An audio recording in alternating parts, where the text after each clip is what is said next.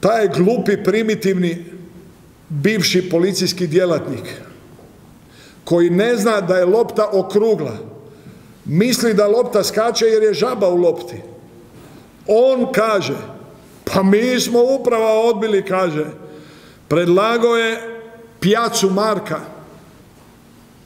koji ima 27 godina i koji nam je podario 25 milijuna eura od njegovog transfera, dao vrlo važne golove u našoj karijeri, rođeni Zagrebčanec, čovjek koji je ponikao u Dinamu, koji je osobno mene nazvao